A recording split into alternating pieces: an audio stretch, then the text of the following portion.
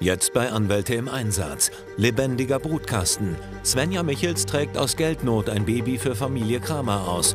Wird Brigida Braun die junge Frau vor dem schlimmsten Fehler ihres Lebens bewahren? Kinder sind keine Ware und Frauen wie Sie sind keine lebendigen Brutkästen. Meine Mandantin trägt die Kinder aus, sie wird sie zur Welt bringen, sie ist und bleibt Mutter.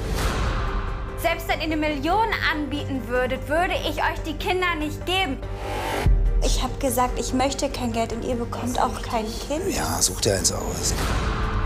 Paula? Henry? Oh mein Gott.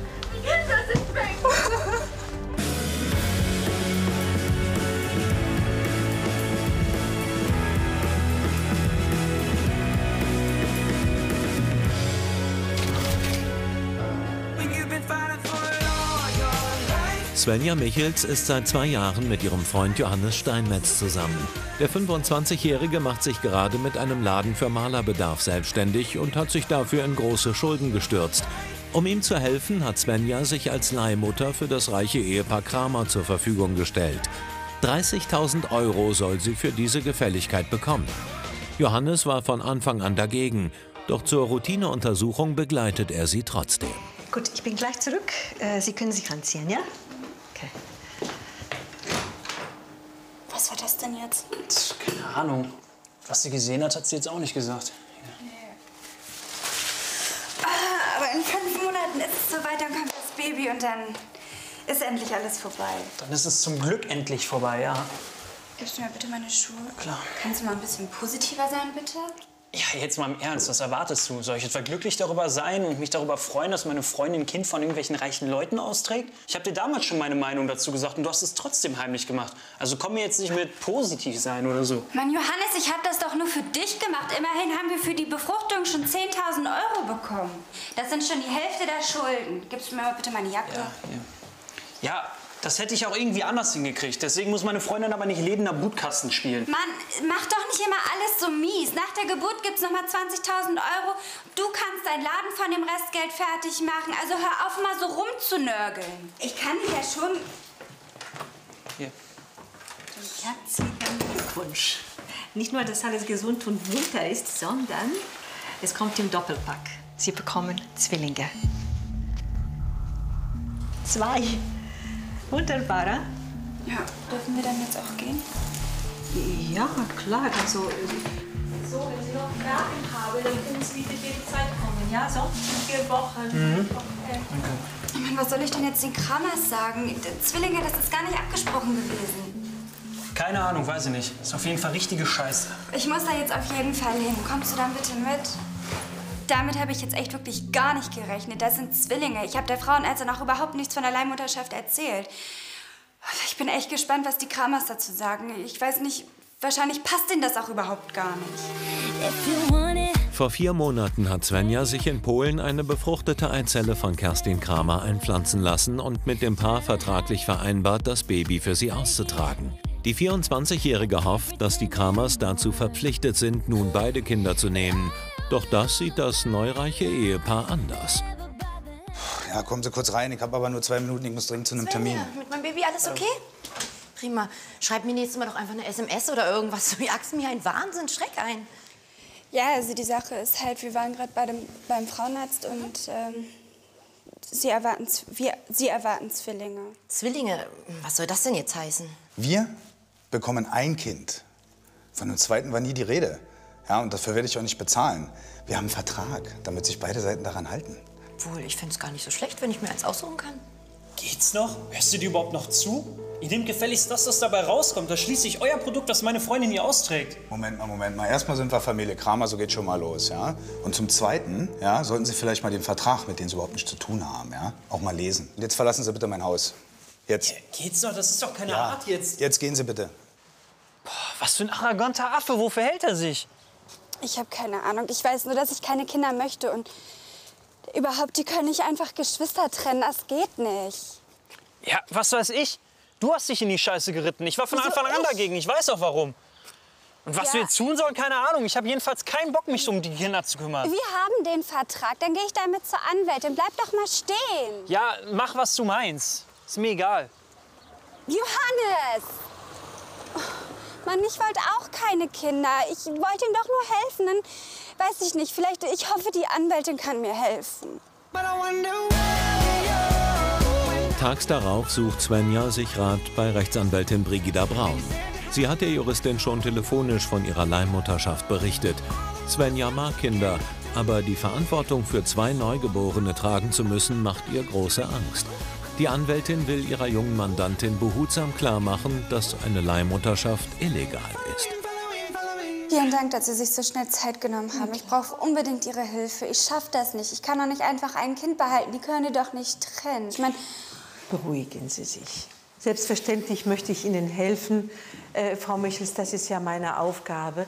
Allerdings bin ich mir nicht sicher, ob ich Ihnen in der Art helfen kann, wie Sie das gerade von mir haben wollen. Es ist tatsächlich so, Leihmutterschaft äh, ist in Deutschland gesetzlich verboten. Verstehen Sie, das ist sittenwidrig. Und deswegen ist der Vertrag, von dem Sie mir erzählt haben, nicht das Papier wert, auf dem er steht. Quatsch, ehrlich? Ja, ja. Aber sagen Sie mir mal, wo sind Sie eigentlich befruchtet worden? In Polen. Also die Kramers haben die Klinik ausgesucht und ich bin dann... Ich verstehe langsam auch, warum. Genau. Was in Polen geht, ganz offensichtlich, geht in Deutschland eben nicht. Ja? Hier sind Sie die leibliche Mutter, Sie tragen die Kinder aus, Sie bringen sie zur Welt, Sie sind die leibliche Mutter, völlig unabhängig davon, äh, welche Keimzellen es sind, die Sie da austragen. Verstehen Sie? Ähm, aber sagen Sie mal, wer ist eigentlich die biologische Mutter?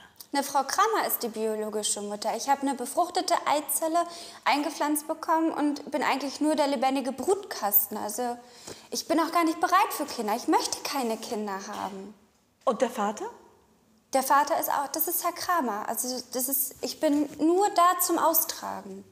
Ja, aber Moment mal, wenn die beide Kramers fruchtbar sind, wie kommen Sie dann ins Spiel? Ja, Frau Kramer sich die Figur nicht ruinieren möchte. Das ist sowieso voll die affektierte Tussi und nur auf ihre Figur bedacht. Und sie hat den Kerl nur bekommen, weil sie so geil aussieht. Ja. Und deswegen bin ich halt da zum Austragen. Gut, das habe ich jetzt verstanden. Also wie auch immer. Frau Michels, ich sehe Ihre Irritation. Mögen Sie einen Schluck Wasser? Ja, bitte. Frau Michels, gucken Sie mal. Äh, ich möchte Sie eigentlich als Frau ansprechen. Wissen Sie, ich bin auch Mutter. Ich weiß, wovon ich rede. Bitte schön, das ist Ihr Wasser. Äh, Frau Michels, ich kann mir nicht vorstellen, dass die ganze Sache Sie so kalt lässt. Ich meine, so wie Sie gerade auch die Kramers beschrieben haben. Möchten Sie Ihre Kinder solchen Leuten in die Hand geben? Nein, aber ich möchte noch keine Kinder und ich habe ja auch schon Geld dafür bekommen. Und Herr und Frau Kramer werden bestimmt sauer, wenn ich denen jetzt sage, dass ich die Kinder behalte. Na klar werden Sie sauer. Na und? Also glauben Sie mir, wenn es nur um diese Frage geht, die rauche ich in der Pfeife. Schauen Sie, ich sage Ihnen ganz ehrlich, dieses Gesetz, das die Leihmutterschaft verbietet, ist genau für solche Leute wie die Kramers gemacht worden. Denn dieses Gesetz soll solchen Leuten den Riegel vorschieben. Kinder sind keine Ware und Frauen wie Sie sind keine lebendigen Brutkästen. So sieht's aus. Die Juristin macht Svenja klar, dass sie von dem unmoralischen Angebot der Kramers zurücktreten muss und die Babys nicht in die Obhut des egoistischen Ehepaars geben kann. Können Sie sich nicht vorstellen, Ihre Kinder wirklich zu behalten, als eigene aufzuziehen? Sind doch Ihre. Ja. Ich denke schon. Frau Michels, herzlichen Glückwunsch zu dieser Entscheidung. Es ist die richtige Entscheidung. Also die Haltung der Kramers hier ist wirklich nicht hinnehmbar. Sie behandeln Kinder ganz offensichtlich wie ein Handelsgut. Nicht anders ist es ja zu verstehen, dass Sie bei meiner Mandantin äh, offenen Auges auf Vertragserfüllung bestehen. Nein, meine Mandantin ist und bleibt die Mutter der Kinder. Und ich bin froh, dass sie sich für ihre Kinder jetzt entschieden hat und sie auch alle beide behalten wird. Denn jetzt werde ich für sie kämpfen, ihr Recht durchzusetzen. I Nach dem emotionalen Gespräch mit Brigida Braun ist Svenja schlagartig klar geworden, dass sie die kleinen Wesen in ihrem Bauch schon längst lieb gewonnen hat und nicht an das geltungssüchtige Ehepaar Kramer abgeben kann. Ihr Freund Johannes ahnt noch nichts von Svenjas Entscheidung. Hi, Hey, oh, was ist das denn? ich wollte mich entschuldigen, weil ich gestern so überreagiert habe. Ich war einfach mit der Situation einfach so überfordert. Musst du auch verstehen mit der ganzen Schwangerschaft und sowas. Weißt du, ich will Oh, das nur... ist schön. Danke, ich hoffe, es gefällt dir. Ich war einfach so überfordert, dass ich nicht wusste, was ich machen soll. Ne? Ich meine, ich habe einfach gemerkt, dass ich dich mehr unterstützen sollte wegen der Sache mit den Kramers. Und ich meine, ich werde dich dabei auf jeden Fall unterstützen. Aber erzähl mal jetzt, was, was, was hat denn die Anwältin überhaupt gesagt? Ja, also die Anwältin hat halt gesagt, dass der Vertrag sittenwidrig ist und damit auch nicht gültig. Was? Was heißt denn das jetzt? Das heißt, dass ich die Kinder gerne behalten möchte. Ist das dein Ernst? Ja, weil ich denke, dass die Kinder auch nichts dafür können. Und wenn die irgendwann groß sind und erfahren, wie die auf die Welt gekommen sind, dann, ich meine, kannst du mit der Verantwortung leben, mit dem Gedanken? Ja, ich will aber keine Kinder, vor allem nicht jetzt. Und erst recht nicht von irgendwelchen fremden Leuten. Ja, ich meine, also ich weiß, dass ich Scheiße gebaut habe und ich weiß auch, dass ich damit total naiv war. Aber ich meine, ich muss jetzt Verantwortung dafür übernehmen. Und das fällt dir erst jetzt ein. Wenn die Kramers nicht mehr zahlen, ne, dann, dann, dann haben wir gleich noch die Schulden und auch noch die beiden Kinder am Hals. Wie soll das gehen? Das funktioniert doch hinten und vorne nicht. Und vor allem, was ist, wenn die ihre schon gezahlten 10.000 Euro wieder haben wollen? Ja, darüber habe ich noch nicht nachgedacht. Ja, das merke ich. Nicht drüber nachgedacht. Super, ich habe keine Lust, dass es nachher alles wieder an mir hängen bleibt. Auf gar keinen Fall. Ich liebe Svenja, wirklich. Aber ich erkenne sie im Moment gar nicht mehr wieder. Ich meine, ich bin echt kein hartherziger Mensch und ich mag auch Kinder, aber man muss doch vernünftig sein. Was bringt es denn, wenn die Kinder irgendwie in armen Verhältnissen aufwachsen? Damit ist doch niemandem geholfen. Nur einen Tag später will Brigida Braun den Kramers mitteilen, dass ihre Mandantin die Zwillinge behält und dass es außerdem vollkommen inakzeptabel ist, sich ein Baby zu kaufen. Svenja hat als leibliche Mutter nicht nur mehr Rechte als die biologischen Eltern, sondern sogar Anspruch auf Unterhalt von ihnen. Guten Tag, Braun ist mein Name. Entschuldigen Sie den Überfall. Guten Tag, Braun ist mein Name. Ich bin Rechtsanwältin. Ich vertrete die rechtlichen Interessen meiner Mandantin. Frau Michels kennen Sie ja. Ja, um es ganz kurz zu machen, ich will Ihre Zeit nicht stehlen. Also meine Mandantin hat sich entschieden, ihre Kinder zu behalten, alle beide. Moment, Moment. Eins ist meins davon, Schatz. Ja, genau. Also so sehe ich das auch. Schließlich haben wir einen Vertrag. Ja, also das, was Sie haben, Herr Kramer, ist ein Stück Papier mit ein paar Sätzen drauf. Mir ist es nicht. Also Verträge dieser Art sind sittenwidrig in Deutschland. Das wissen Sie als Geschäftsmann ganz bestimmt. Es gibt keine äh, Leihmutterschaftsverträge. Und meine Mandantin trägt die Kinder aus, sie wird sie zur Welt bringen, sie ist und bleibt Mutter. Okay, wenn Sie meinen, dass das so ist, dann möchte ich aber auch sofort meine 10.000 Euro zurück. Die hat Frau Michels ja somit ohne Rechtsgrundlage erhalten, ne? Ja. Sprich, kein Geld für keinen Vertrag. Jetzt ist das Ding erledigt für mich. Herr Kramer, ich verstehe, ich verstehe Ihren Wunsch, aber den werde ich Ihnen nicht erfüllen. Sie bekommen nichts davon, gar nichts. Denn das Geschäft ist sittenwidrig und damit auch Ihre Zahlung. Sie haben keinen Anspruch. Aber meine Mandantin, äh, sie hat jede Menge Ansprüche, nämlich in Höhe von drei Jahren auf Unterhalt als ledige Mutter ihrer Kinder. Ja? Und ihre Kinder, ihre beiden, haben ihren eigenen Unterhaltsanspruch gegen sie, verstehen Sie, bis sie ihre erste Ausbildung absolviert haben, erfolgreich. Das sind ein paar Tage, die da zusammenkommen. Herr Kramer, ich würde mich natürlich freuen, auch Frau Kramer, wenn wir das einvernehmlich und äh, außergerichtlich klären könnten miteinander. Äh, ich meine, wenn ich von Ihnen beiden bis zur Niederkunft meiner Mandantin nichts höre und nichts sehe, dann werde ich das auf dem formellen Weg durchsetzen. Ja. Da müssen Sie Sie erst mal schlucken, nicht? Naja, machen Sie mal. Ich würde sagen, wir brechen hier ab. Ne? Ja, mir habe ich auch nichts zu sagen. Ja. In Ordnung. Schönen Tag noch. Wiedersehen. Kommen Sie. Das war, das war wirklich klasse, danke. Hat mir aber auch gut getan. Hat mir auch gut getan. Die haben es verdient, ganz ehrlich. Svenja ist froh, dass sie die 10.000 Euro nicht zurückzahlen muss, denn Johannes hat mit dem Geld schon einen Teil seiner Schulden beglichen. Er hat zwar immer noch 14.000 Euro Restschulden, doch Svenja ist sich sicher, dass sie einen anderen Weg finden, um die Summe zu begleichen. Für sie ist die Hauptsache, dass die Kinder bei ihnen bleiben und sie zusammenhalten. Na, wie war's? Erzähl, was Alles mit dem super. Geld? Also die Anwältin ist total nett, die hat auch alles im Griff. Und ähm, ja, die 10.000 Euro müssen wir auf jeden Fall nicht zurückzahlen. Ja, aber das Gute ist, dass wir sogar noch Unterhalt kriegen, weil Herr Kramer ja der leibliche Vater der Kinder ist. Super. Jetzt müssen wir nur noch zusehen, dass wir die Kinder gut unterkriegen. Geht's noch? Ich habe doch gesagt, ich behalte die Kinder. Ja, dass du nicht wolltest, dass die Kramers sie kriegen, das kann ich ja voll und ganz nachvollziehen. Aber wir können die nicht behalten.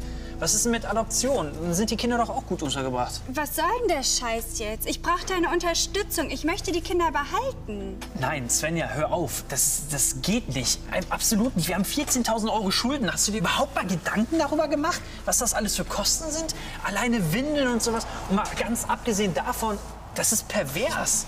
Wie bitte? Ganz ehrlich, Johannes, ich habe gedacht, du bist für mich da. Ich habe gedacht, wir schaffen das zusammen. Und dummerweise habe ich auch gedacht, dass du mich vielleicht ein bisschen verstehst. Hör auf, sowas zu sagen. Das ist unfair. Unfair? Unfair ist das, dass ich das alles für dich gemacht habe, um deine Schulden abzubezahlen. Das ist unfair. Erstmal, sei mal ein bisschen ruhiger. Das müssen die ganzen Nachbarn nicht mitbekommen, ne?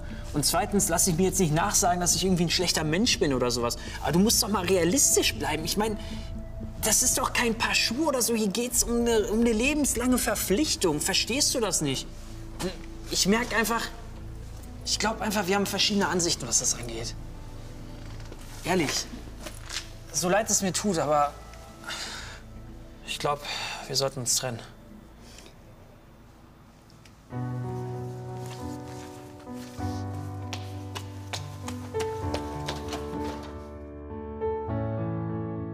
Habe ich den Mann verloren, den ich liebe, für den ich sogar meinen Körper verkauft habe. Ich hoffe, ich habe keinen Fehler gemacht, mich für die Kinder zu entscheiden. Innerhalb von zwei Tagen ist Svenjas ganzes Leben aus den Fugen geraten. Sie fühlt sich von ihrem Freund im Stich gelassen. Und ihren Eltern kann sie ihren Kummer nicht anvertrauen, weil sie ihnen die Leihmutterschaft aus Scham verschwiegen hat. Zu allem Überfluss machen die Kramers ihr erneut ein unmoralisches Angebot.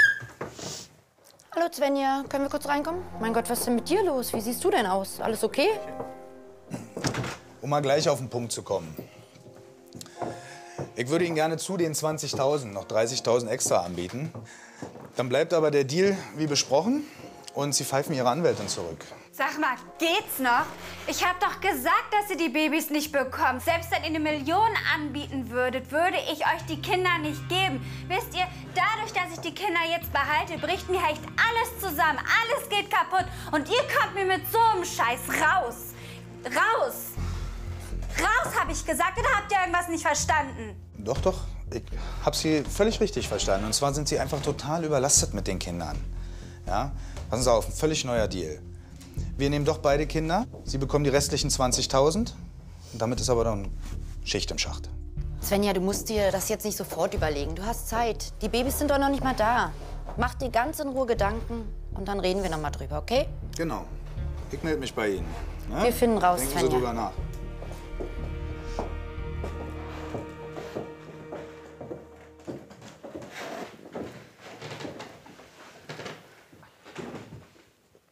Ich weiß nicht. Vielleicht haben die ja recht. Ich meine, die Kinder würden zusammenbleiben und Johannes wäre wieder da und ähm, vielleicht wäre das alles besser. Und ich, ich denke, ich werde erst mal Frau Braun anrufen und dann. We got our eyes wide open, feeling like we're on. Verzweifelt bittet Svenja ihre Anwältin um ein Gespräch. In ihrer Mittagspause trifft sich Brigida Braun mit der jungen Mandantin. Sie möchte ihr zur Seite stehen. Sobald die Zwillinge auf der Welt sind, kann sie Unterhalt, Kindergeld und Wohnungsgeld für sie beantragen. Doch vorerst muss sie die 24-Jährige in ihrer Entscheidung bestärken. Oh, das ist aber nett. Da freue ich mich richtig. Vielen Dank. Frau Michels, was gibt's denn so Dringendes? Sie wollten mich sprechen. Erzählen Sie mal. Ja, ich habe im Moment wirklich richtig Angst vor der Zukunft. Ich habe einfach Angst, dass das alles nicht hinhaut, dass ich das nicht schaffe. Welche Sorgen haben Sie konkret? Erzählen Sie mal. Naja, natürlich auch finanzielle Sorgen. Ich meine, ich bin jetzt seit einem halben Jahr arbeitslos und selbst wenn ich einen Job als Nageldesignerin auch finden sollte, dann äh, ist das kaum genug Gehalt, um die Zwillinge unterzubekommen. Ich bin am überlegen, ob ich nicht das Angebot der Kramers dann einfach annehme und dass es für alle die beste Lösung ist. Frau Michels, also ich sag Ihnen ganz ehrlich was. Also Kinder zu verkaufen ist nun wirklich keine Alternative. Ja, Sie haben tausend andere Möglichkeiten. Für jedes Kind haben Sie einen Kindergeldanspruch 184 Euro mal zwei. Darüber hinaus, bis Kramer seinen Unterhalt zahlt, ja, haben Sie einen Unterhaltsvorschussanspruch, äh, Anspruch, 133 Euro pro Kind. Das sind jetzt schon zusammen über 600 Euro.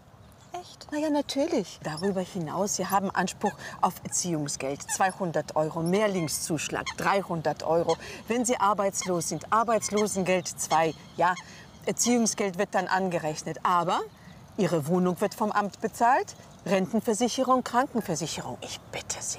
Es fließt nicht über, aber zum Leben reicht's, glauben Sie. Und das steht mir alles zu? Na, selbstverständlich. Ich helfe Ihnen auch bei der Antragstellung und bei der Durchsetzung Ihrer Ansprüche. Gar keine Frage. Aber wissen Sie was, so langsam geht meine Pause zu Ende. Ich muss zurück ins Büro. Begleiten Sie mich ein Stückchen? Denn ich sehe, Sie haben noch was auf dem Herzen. Was ist los? Ja, also es ist auch die Wohnung. Ich meine, alleine kann ich mir die Wohnung ohne Johannes nicht mehr leisten. Das ist Na ja, gut, also wenn Sie die Wohnung verlassen wollen. Ich meine, Plan B. äh, Wie ist denn Ihr Verhältnis zu Ihren Eltern? Könnten Sie vielleicht da unterkommen? Also ich habe ein sehr gutes Verhältnis zu meinen Eltern, aber die wissen nichts von der Leihmutterschaft und ich habe echt Angst, dass die dann total enttäuscht von mir sind. Ja, aber das wäre doch verständlich, oder? Ist Ja, ja, ganz trotzdem. klar. Ja, aber schauen Sie mal, ich, meine, Sie übernehmen ja jetzt Verantwortung. Das werden auch Ihre Eltern sehen. äh, Und äh, trotz anfänglichem Ärger, glauben Sie mir, Sie werden das honorieren. Trotzdem habe ich echt richtig Schiss. Sie haben Ihre Entscheidung getroffen, Frau Michels. Stehen Sie dazu.